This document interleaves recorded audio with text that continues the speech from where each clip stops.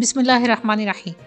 A Saudi Airlines aircraft made an emergency landing in the port city after its Riyadh bound flight from Dhaka saw a passenger's health deteriorate during the flight on Tuesday.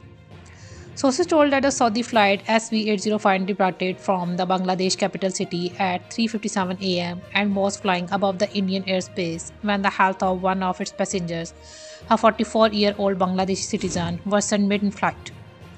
The condition of Abu Tahir, the Bengali passenger, was bad as he suffered from high blood pressure and kept vomiting, airline sources said. Following the passenger's health, the pilot diverted the aircraft towards Mumbai and sought permission from the air traffic controller in Mumbai for a humanitarian landing. By the time the air traffic controller could issue permission, the plane had taken the landing approach towards Mumbai. The ATC sought the nationality and other details of the affected passenger and refused to offload the Bangladeshi Muslim passenger. The Saudi plane was refused entry into the Indian territory, citing the presence of Bengali passengers who were on board the flight.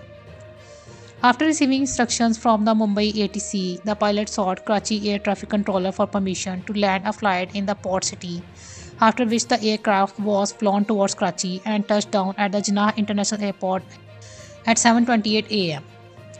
The Civil Aviation Authority's medical team took emergency measures at the airport, with doctors arriving to treat the patient as soon as the plane landed. The Bengali passenger on board the plane was examined by the doctor present at the spot, who provided medical aid to him. Following the checkup, the plane flew to Riyadh from Karachi.